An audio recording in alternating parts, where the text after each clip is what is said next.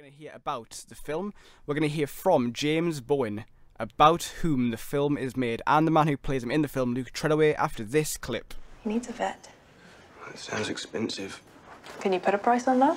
Oh, no, no, he's not my cat. I mean, I just found him. I think it's like a stray or. I don't know. He is telling me he was put here to be with you. Reading his spirit loud and clear. He came to you for a reason. Really? You're, you're, you're, you're sensing that? Of course not. What do I look like, some kind of nut? There's a card there for the vet that I volunteer at. It's a charity. Tell them Betty sent you. Okay, thanks. Um, you should go. Bacteria is multiplying by the second, and Bob needs a vet. Bob? That's what he told me he wants you to call him. He's not actually my cat, you know. Mine, yours. We all belong to each other. See you, Bob. It's nice to meet you. You're a bit of an attention hog. You know that, Bob? Well, because he kept following me around, I um I was sort of barely existing at that point, being on benefits, being on a methadone program, and when he kept following me around, and I don't really have a choice in the matter because a cat, cats do what they want to, and when he jumped on that bus that day, it was like, well, I better buckle up my ideas, and it sort of at the same time gave me a joyous experience because people were all of a sudden, you know, talking to us, engaging us, and um, he kind of gave me that reason to, you know, have a second second go at, you know, sorting my life out, and you know, here we are today. It's crazy. I mean, it started really when James first came over, came over to my house before the filming started, and he brought Bob round, and had a little, you know, introductory hello. Um, and then, you know, and then more and more as it went on, Bob, I think, became quite used to the fact that there was this other guy uh, that he was going to have to sort of sit on the shoulders of for a bit of the day, and he seemed cool with it. And and when when he'd first go on in the morning. Um, James would, would, would sort of take us and we'd go for little walks, so that just so he'd get used to sitting on my shoulders and find his balance and stuff like that. Um, yeah, it was cool.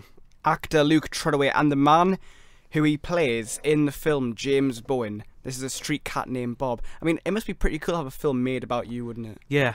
When- Especially if you're a cat. When they're gonna make a film about us, like what we've achieved, we've done so. We've done It would so be much. it would be an epic that would only match Napoleon It would just be like 20 hours of me reading. So yeah, it's true. and us making noises Yeah. and us reacting to things. just going. Yeah, and uh, opening Blu-rays. when it comes to the Oscars and the show, like you know the, the the for your consideration bit, it would be me doing the Jurassic Park scream Yeah. Who would get who would get the like like that, but like more epic because I'd be played by um, w- would be the first ever duo, I'd well, be- first ever trio to get best actor. yeah, I'd be played by Jude Law, but we'll talk about that later. Jude Law. Um, oh, what about what about you, Joe? Who'd you? I wouldn't really. It's Oh. just first thing, first thing to get me. I, I think I think Daniel Day-Lewis. Michael Penner for you or Emilio Estevez. Daniel Day-Lewis. Fair enough. He's a chameleon after all. it's true. Um, I would be played by I don't know. Mm, maybe Well, Chris Pratt. Chris Pratt. Yeah, Chris Pratt. Why not? enough. He's adaptable. Yeah, right. fair enough. Uh, a street cat named Bob. Nice little diversion that, but this Yeah. is, what's the film about? Uh, well, the street cat named Bob is a true to life story. I think it's a street cat named Bob, not the street cat Uh, named well, Bob. but a street cat named. Bob is a true to life story about a a man who's come from Australia called James Bowen, and he is a busker who plays on the streets in Camden. I'm sorry, I'm Covent Garden, and basically he is very hard on his luck. Uh, he's on the he's on the recovery program for heroin addicts, so he's on uh, methadone, and he comes across one day a cat who just turns up in his apartment, and that cat follows him onto a bus. And the next day when he goes to busk, and they strike up a friendship, which ends up helping him sort of help recover his from his heroin addiction, and sort of they become best pals as you do because cats are adorable. Sort of. Yeah, It's sort. It's sort of the new, basically. yeah. Go on then. For yeah, Keep going. It, yeah, it's it's about cats. Yes. It's about cats and a man's friendship with a cat. Now, I mean, I know we've already spoken about this off the air, but um, it is it's sort of it, it, the same sort of way and Eddie the Eagle had no right to be as life affirming and as charming as it was. It this feels just like that because it is a really really feel good story in, in a lot of different places because you know the the the the, ca- the, bo- the cat Bob is, is so adorable. Let's speak I- about the cat first. No, no, I, Oh, And- God, and- man. no, and about no, please, Why you might prefer this film over films about dogs or Or fish. or, or people, for instance. yeah. He's a cat guy. We went to Amsterdam over the summer. Oh, this is so exciting. Uh, I think I've already said this on our show with Hafster. Oh. Actually, I think I've, I think you've already been outed about this. But um, we were in a Outed. yeah, we were, we were in a gift shop. I went past this gift shop. Ah, I, I this saw is not true, by the way. it is. This is twisted. Shall I dip his mic so he hasn't got a Yeah, chance yeah. to respond? Oh, it's gone. Um, so we were in a gift shop. I saw some Ajax football shirts that I quite fancy the look of. So I'll go and see how much they are. Might be a nice little souvenir for the trip.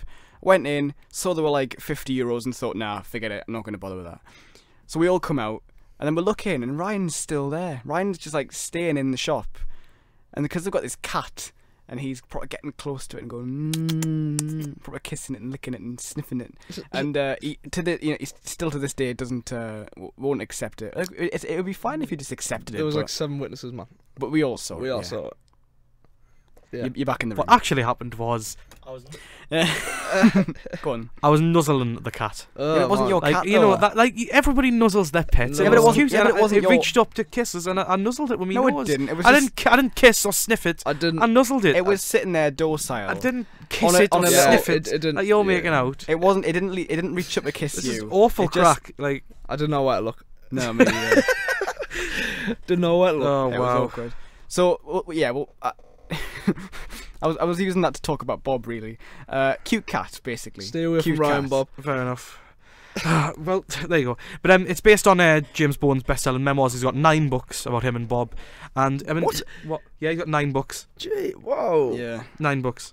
Was that? I mean, I think there's an animated series coming out soon as well. yeah, fair Mhm. enough. Well, they got animated series. I mean, that could be like um, the on. There's already a successful online series about cats, isn't there? The animations. Is there? Yeah, I, don't, I can't remember what they're called, but they're cute. Anyway, But um, yeah. So this has um, been one yeah. hell of a shoddy review. but um, yeah, um, to be honest, you know, it's a family film that has real serious things to say about about serious problems. I think because Hmm. it, it is a very awkward tone because it is a family film and it, it's pitched as a comedy drama.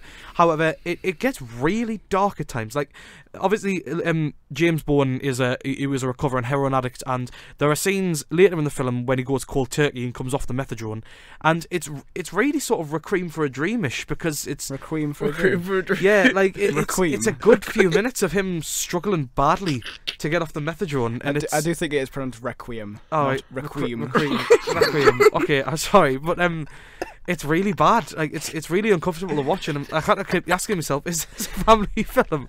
And it's it's really bleak in that aspect. But I mean. I, I, it has got awkward tones in that, and I think the balance between the humour and the seriousness was quite awkward. But I thought it was just so sincere. You know, what? like it had a real heart at the edge of it. And like Anthony Head playing as a strange dad is a really strong role. You know, I think um, no, I, I think well, why? Come on. I didn't think Yeah. so. I didn't think so. Um, I, I get what you mean about that scene at the end being a bit like Requiem for a Dream, but uh, Yeah. Classic. classic. Yeah. uh, that A famous classic film. film, by uh, Darren Aronofsky.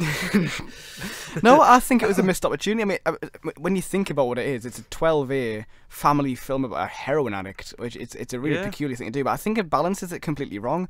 I think the the most interesting part is the start of the film when you kind of get to know James uh, and Bob, and I suppose their neighbour as well, Betty.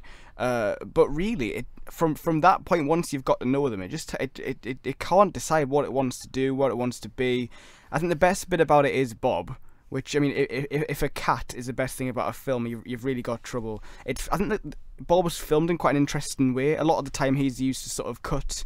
Like to a reaction, like they, they use Bob as if he's a real person. Like his his reaction is just as And I think important that gives it a lot of strength. that that that gives it some strength. I like that. E- even if it turns out Bob was played by multiple different cats. Yeah. If you look at the credits, there's like nine but, cats but it- listed. uh, eh, but- but, you've had you say. Uh, poorly paced. Cliches is an understatement. Uh, it, it crams as many as it can by the end. It, it's it's such a overdone bit of cliche rama towards the end. It, it just it, it seems rushed at the very end. Like just pile on some misery and then oh look he's happy again. He's he's fine. It's it's destined for Christmas on BBC One. It's destined to be on at about eight o'clock on Boxing Day, isn't it? Like sort of the, the David Walliams slot that he's sort of coined. It someday it'll be there. Um, but it, it it fails to make a point about homelessness. It's just it's just about him. I, I, I think I, th- I think it really struggles. But isn't that to, the point? Like, No, it- but it's, it's a man no, and his yeah, story about him and his cat. Yeah, and I think it's it sort of does a it does a, a fairly okay job at that. But uh, if it, if it's if it's the intention to make a film that's sort of more inclusive of, of making a point of some issues, it doesn't really do that at all. And I wasn't really that Mm. heartwarmed by it. I was kind of like, oh, you know, great, well done. Obviously, it's fantastic that you, you succeeded, and I'm never going to take that away from anybody. It's such a hard thing to do. But the film, I think, could have done better. I think the film it, it does a poor bit of justice to a man who's obviously overcome so much. Yeah. I was disappointed. I, I I think the, the the POV stuff from Bob's point of view is what, what, why? Yeah, I, I, I, I like I, I like why that- people might I like that's that they use him as a character, But- but I think to have the camera in his head is just often just too much, laid on too think- thick. I, I just think uh, I, I- I guess we'll just have to agree to disagree on this because I think I think the the relationship between him and his next door neighbour, soon to be girlfriend Ruta Gedmintas, is is sort of. It, it's just like the relationship he has with him and, and Anthony Head, his dad, and just the fact that he never seems to get a break, and then it's this cat that, that gives him the strength to. I do. sort of- I, I do love it when uh, and- when she goes off on one because bottom. because he's uh Yeah, because like if, if, if he's a not a vegan and she's like oh I'm a vegan like oh d- don't like meat and she's just just, just a very clum- Yeah. clumsily written character I thought unless she really is like that and then if that is the case then Hmm. damn I just I just think it was a, it's a family film with a real warmth to it.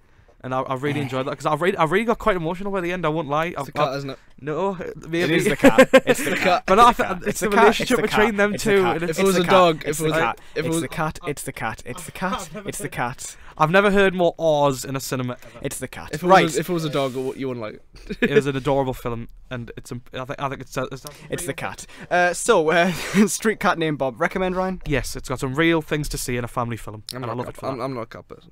Yeah I think well, You're not an anything person. you You, wouldn't hate be that I animals. like, I like, I like raccoons. a street raccoon named A street raccoon. Raccoon. named no, Du- if, if I could have a pet raccoon, I'd have a pet raccoon. Aren't they a bit like violent? Isn't the scratch? No, and no, stuff? you can train them. Can you? And can they've got like, raccoons? and they've got like enough. they've got cute little hands on the handsy things. yeah, but monkeys do that. Well, I don't want a monkey. I want a raccoon. so I never knew that. Well, that's in cinemas now if you fancy it. Uh, and if you like cats, Not a street cat named raccoon. No, a street a street raccoon named. Street cat named raccoon. Should we just play some local music and, Yeah, play some and more pretend this hasn't happened? a street cat named raccoon. What What's, what happened to this show? what's his favorite film? Raccoon for a Dream. Is that, is that his favorite film? Uh, moving on.